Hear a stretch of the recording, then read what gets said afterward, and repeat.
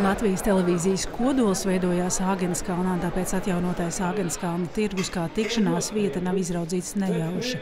Sanākušo tik daudz, ka neadatai nokrist. Latvijas televīzija bija kalve, izaudzināja profesionāļus, kas nereti nebija aizstājami pat 50 gadus un vēl ilgāk. Piedalieties, ka 50 gadi! Piedalieties! Ja vēl vajag piecelties! Bravo! Bravo! Īpaša vieta Latvijas televīzijas vēsturē ir atmodas laikam un daudziem no jau leģendāriem raidījumiem, pie kuru šūpuļu stāvējusi lielākā daļa klātesošo. Viens no atmodas laika simboliem, raidījums Labu vakar, bija tik populārs, ka to svētdienas vakaros skatījās vairāk nekā 70% Latvijas iedzīvotāju. Tie pieci gadi labvakarā, tie bija mani vislabākie gadi, un tā bija žurnālistam visaugstākā iespēja vispār tādai raķetei uzšauties gaisā, un tagad es lēni krītu lejā. Izaicinājums. Katru dienu kaut kas cits, jauns, katru dienu solis uz priekšu. Tas bija pats labākais.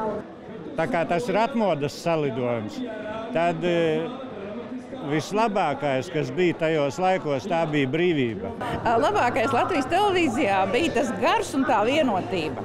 Arī pirms 90 gadiem. Tas bija, mums bija kaut kāds kopējais tas skatījums uz to visu. Man liekas, ka Latvijas televīzija ļoti precīzi sajūt laiku un ļoti precīzi uztaust tās svarīgās problēmas. Un es gribu cerēt, ka šī kvalitāte saglabāsies arī uz priekšu. Daļa no klātesošajiem, kas televīzijā nostrādājuši 30, 40 un pat vēl vairāk gadus, te strādā joprojām. Un kad bija prasīgāks skatītājs? 78. vai 2008. 2024. Būtībā tās ir nesalīdzināmas lietas, tāpēc ka, tāpēc, ka tad bija tikai viens Latvijas kanāls, un otrs bija centrālās televīzijas kanāls. Es domāju, ka tagad ir prasīgāks, jo daudz ko grib uzzināt. Paskatoties vecos ierakstus, var tikai apbrīnot, ko mēs tur toreiz dabūjām gatavu ar šīm iespējām. Māris Jurgensons ikdienā satiekams kamerai otrā pusē, joprojām jau aptuveni 40 gadus.